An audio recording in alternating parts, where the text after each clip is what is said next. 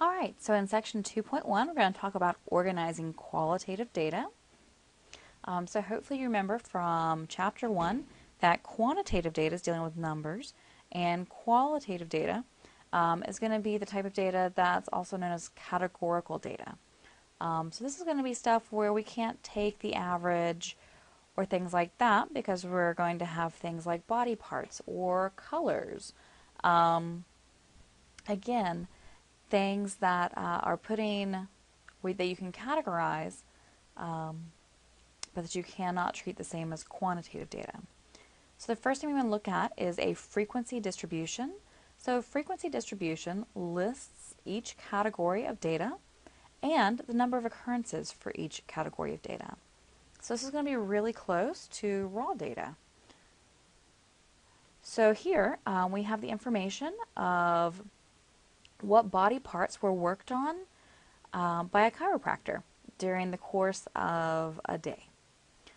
So this here is our raw data where literally the chiropractor just written down the body part. Um, and then we can go through and we can start to make our frequency distribution. So for the frequency distribution, we're going to write down all the body parts. So those are our categories, and then we're just going to tally up. So we're just going to go through and literally just count how many there are. Typically, the easiest way to do this is to go through the data and make a tally mark um, in the appropriate category. So for back, you would end up putting a tally here for back. You go to wrist. Next, so we would go to wrist and do a tally. Uh, elbow, we would give a tally. Uh, and then we go back again, so another one, so on and so forth. And then once we've gone through all the data and tallied it all up, we're just going to count, and that's going to be our frequency. Now, the relative frequency is the proportion or the percent, um, but it's going to be written as a proportion or meaning as a decimal um, most of the time. Um, also fraction, but again, but not typically written as a percent for us. Um, so it's the proportion of observations within a category, and it's found using the formula where it's the frequency of that uh, occurrence over the sum of all frequencies. So for instance, up here, we would take, uh, the, to find the relative frequency of back, we would take this 12 and divide by all of the body parts that were recorded. So they've got that worked out here. So we've taken the back, that 12, and we're dividing by the 30 different pieces of data that we had uh, recorded. So we're going to have 0.4 uh, for wrist we're going to take that 2 and divide by, again, that 30 pieces of data that were recorded. We're going to get our 0.0667, so 0.06 repeating. Um, and as far as how we want this relative frequency to look, to look, as far as decimal or fraction, it's kind of going to depend on the different problem as well as the instructions. Typically, though, we will have it written as a decimal. All right, so again, frequency distribution is where we are categorizing data and then just saying how many times something occurred in that category.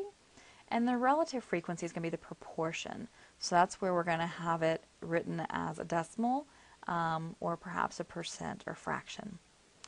So a relative frequency distribution is going to list each category of data together with its relative frequency. So again, the relative frequency is going to be just that proportion, and a relative frequency distribution is going to be the category with um, that relative frequency. All right, so let's go through and do a quick demonstration of a frequency distribution and relative frequency distribution with birthdays. So if we were to go through and figure out how many people have birthdays in each of the 12 months. So I'm going to quickly just make up some numbers. So let's say that we have one person born in January, uh, two people in February, maybe two people in March, three people born in April, two people born in May, one born in June, none born in July, two born in August, two born in September, and then maybe one in October, two in November, and two in December. So let's pretend that this here is our actual data from a class, and this should total up to 20. Let's see really quickly.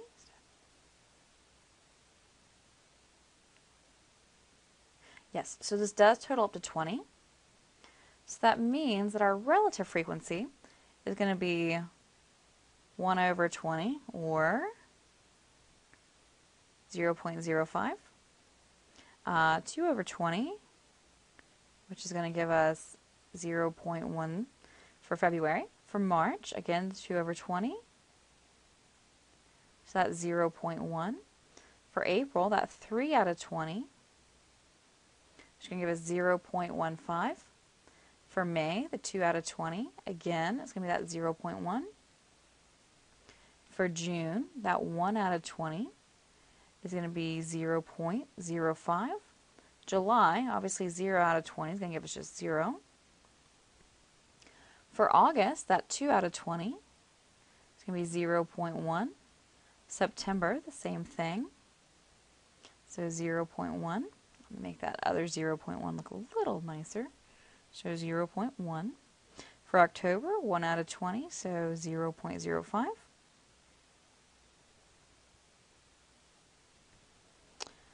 And November and December, that 2 out of 20 is going to be 0.1. So, looking at the birth month with this first column will be our frequency distribution. Looking at the birth month with the relative frequency will be a relative frequency distribution. And again, it's a relative frequency distribution because we are including the relative frequency with the categories. So we're going to leave this alone for just a minute, but we're going to come back to this data in a little bit. Okay, let's talk about bar graphs. So a bar graph is constructed by labeling each category of data on a horizontal axis and the frequency or relative frequency of the category on the vertical axis. Uh, rectangles of equal width are drawn for each category. The height of each rectangle is the category's frequency or relative frequency. So, the example that we had previously with the chiropractor and the different body parts, uh, whenever we went through, if we were to go through and do a frequency bar graph, we would just have all of our categories listed and we would be going through and marking uh, however many times each of these occurred. So there were 12 uh, backs that were worked on, two wrists, uh, one elbow, so on and so forth. So here is our frequency distribution. Over here is the relative frequency distribution. So notice it's no longer 12, it's going to be at 0.4 for back because that was 12 out of the 30. Um, please note these have the same shape. The only thing that's really changed is the numbers over here. So instead of frequency, now it's going to be the relative frequency. So instead of however many pieces of raw data we counted, we're now looking at it as a proportion over here. All right, so these are both just bar graphs. And then there's a special bar graph that's called a Pareto. So a Pareto chart is a bar graph whose bars are drawn in descending order of frequency or relative frequency. So this kind of lets you find information a little bit faster maybe. Um, and again, descending is important. So you're starting with whatever occurs the most and then working your way down. Um, and this will allow you to quickly figure out uh, what was done, again, the most, what happened the most, occurred the most, and the least, so on and so forth. All right, so let's talk about the information of the birthdays.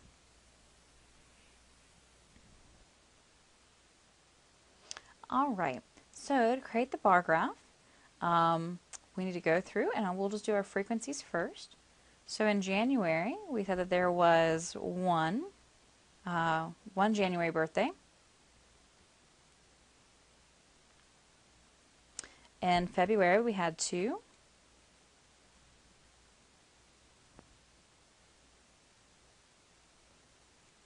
In March, we also had two.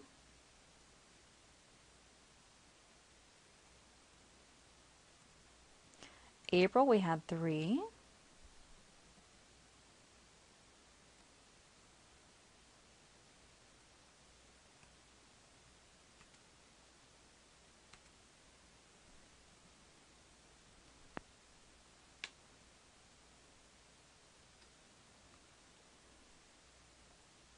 In May, we had two. So in May, we had two, and in June, we had one. So May and June.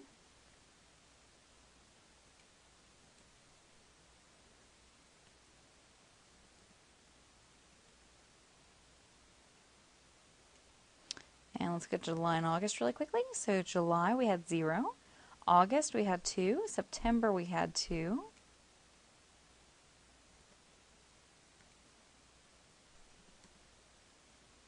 So July we had none. August we had two. And September we had two. And let's look at October, November, and December right quick. So we had one for October, two for November, and two for December. So one, two, and two.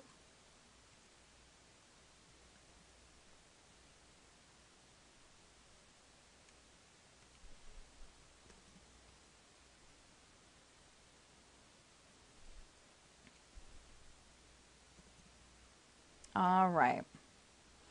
So we've gone through and worked out um, our bar graph that's showing the frequency, because we have the 0 through 4 over here.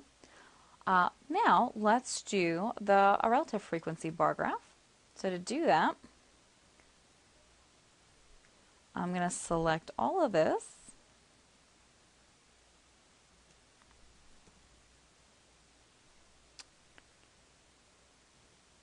And I'm going to actually just go on a new page. That'll be a little easier. And instead of having the zero, the one, two, three, and 4, we're going to change those numbers to be the relative frequencies. So it's no longer a 1. So whenever we had 1, that was a relative frequency of 0 0.05. Whenever something, whenever we had 2, that was a relative frequency of 0 0.1.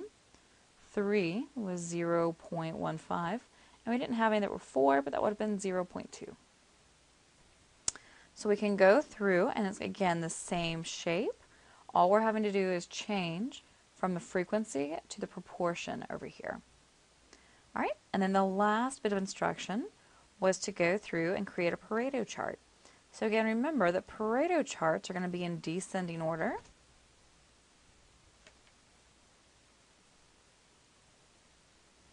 So we would have April 1st. So April would occur first. And I'm just going to kind of do a rough sketch of this. So we'd have April for April uh, coming first, and that had three.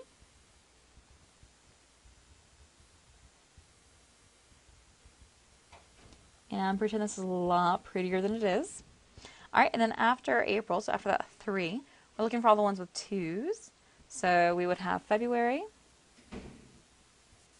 again with 2.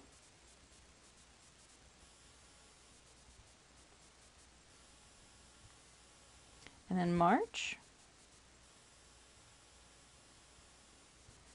with the 2. May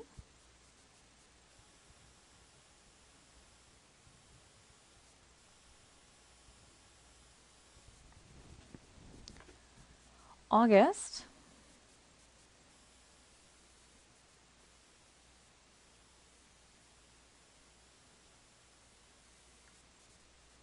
September.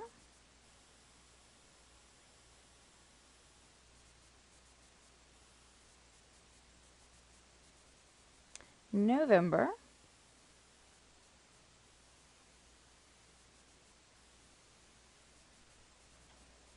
December. So this is going to be all the ones with two. And then we're going to go and list the months that only had one occurrence. So we have January.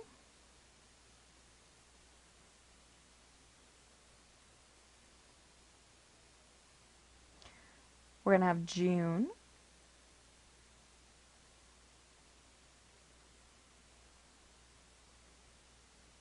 October. And then the only month with none was July. So this will be our Pareto chart. So not overly interesting, um, but again, just the, the important part of having it in descending uh, frequency.